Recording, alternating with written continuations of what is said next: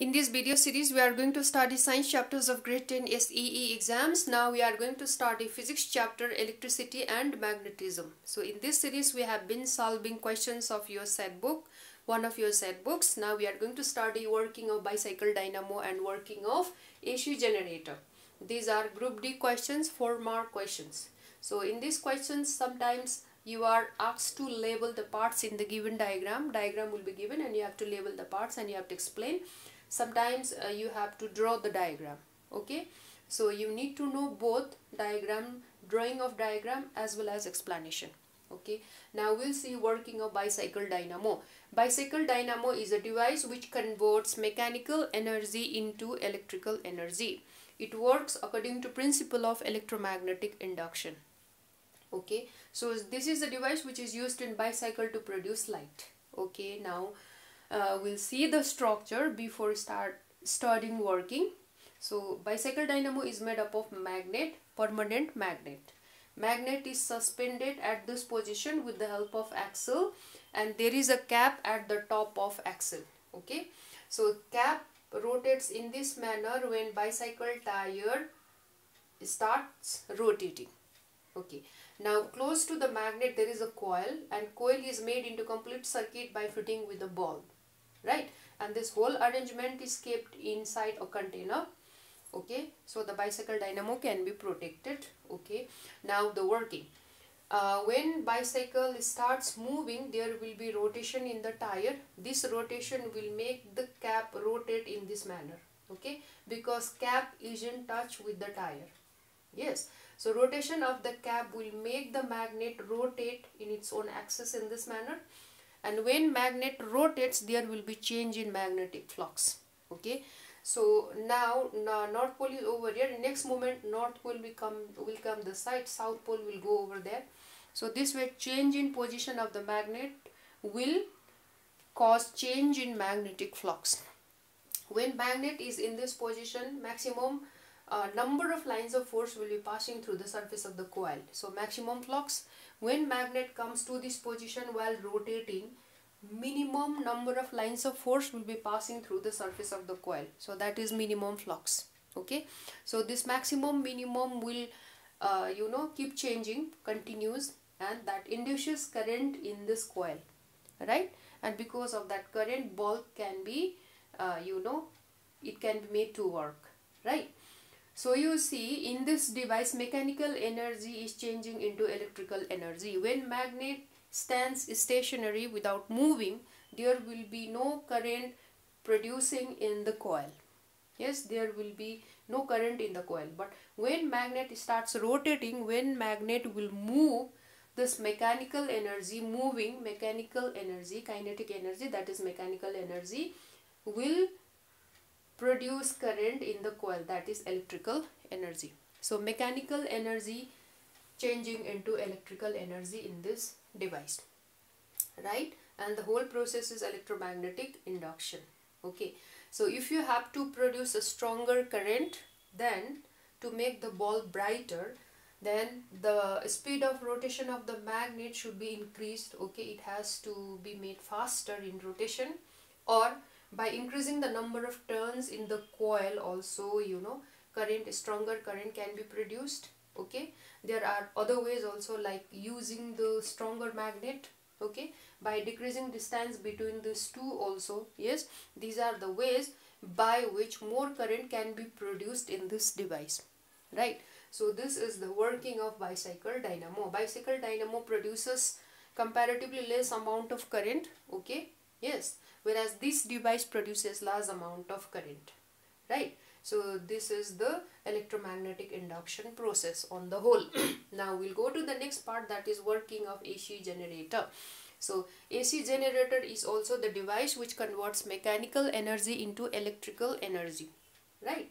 Okay. So the uh, you know current supply which we have in our homes that is because of this process right electromagnetic induction. This device work according to the principle of electromagnetic induction right? And uh, you know this produces large amount of current and this device is used in hydropower stations okay? Uh, the current which we have in our homes that is produced in hydropower stations and in hydropower station this device is used to produce current right? Now the structure we will see the structure of this device uh, there are magnets two magnets okay north pole and south pole to create magnetic field. Uh, yes magnetic lines of force will be passing from north pole to south pole always right?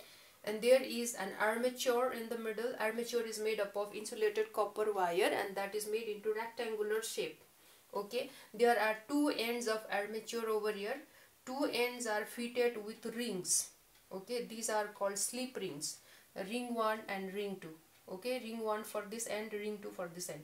These rings do not touch each other and do not touch each other's wire also okay?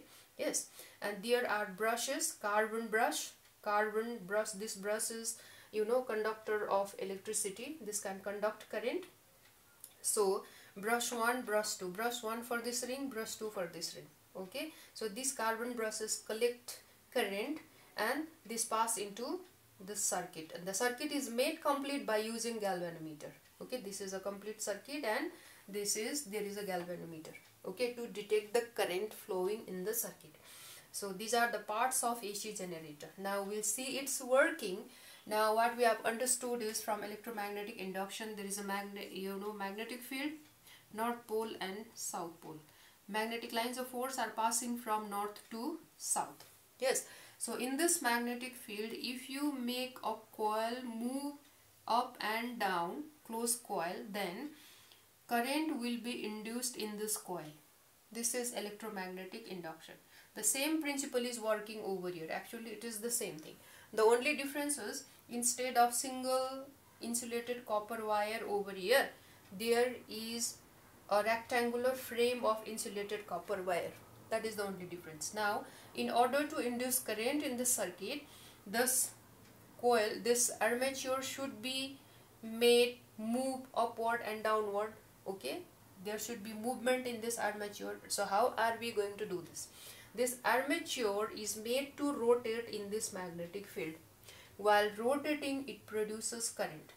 And that current is alternating current. Alternating current means in the first case current will be moving from from here here here here here here here to here complete round.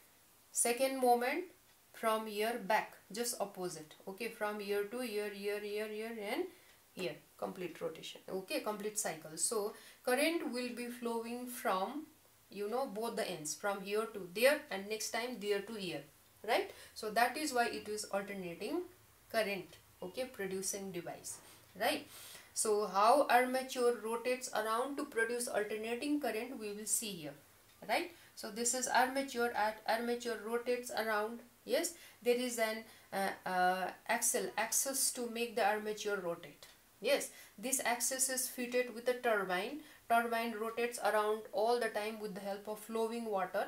Water is made to uh, you know fall on the turbine and turbine rotates. Okay that is why it is hydropower. It is used in hydropower station right? So uh, falling water on the turbine will make the turbine move and that turbine in turn will make the armature rotate okay? So that is why hydropower it is used in hydropower station. So rotation of armature produces alternating current. How does it happen? We'll see here. When armature rotates this side of the armature and this side of the armature this will be cutting lines of force in perpendicular manner okay and this movement will cause change in magnetic flux. Okay magnetic flux will be maximum minimum maximum minimum. This change will take place all the time right? So that induces current in this circuit right? Now we'll see here let this be the initial position of armature. Now it will start rotating. It, it has start rotating. It has started rotating this way. Okay while the armature is in this position maximum lines of force will be passing through this so maximum flux okay? And it comes to this position half circle is finished right? So when half circle is finished current will be flowing from here to here okay? And again next the this is the half circle complete the now complete circle okay because it has come to the initial position. So in this half circle current will be flowing from here to there. Okay? Opposite direction of the first one so this way current will be flowing from here to there first round second round here to there. That is why alternating current. Now this frequency complete cycle is shown over here. This is the complete cycle so when armature makes complete cycle it will be uh, you know making the current flow in this manner from year to year half circle from year to year half circle so that complete circle okay? So from this end to this end again this end to this end. So alternating current will be produced in this manner okay? So current is flowing from year to from here from year to here here here here here and back to the same position okay? So the current carrying in this coil will be collected by these rings okay? Rings will not move rings will be in this position only. And this carbon brush is in contact with the ring all the time right? While ring is rotating around and current will be collected by this brush and it will be given to this circuit okay and this also doing the same thing. So this way there will be flow of current continuously in this circuit. Okay. So this is the way of working of AC generator right? If we have to uh, increase the magnitude of induced current then the rotation of armature should be made faster. Okay. By increasing the speed of this rotating armature or by increasing the number of coil in this armature copper coil yes insulated copper wire or by using stronger magnetic field okay? These are the ways by which magnitude of induced current can be increased.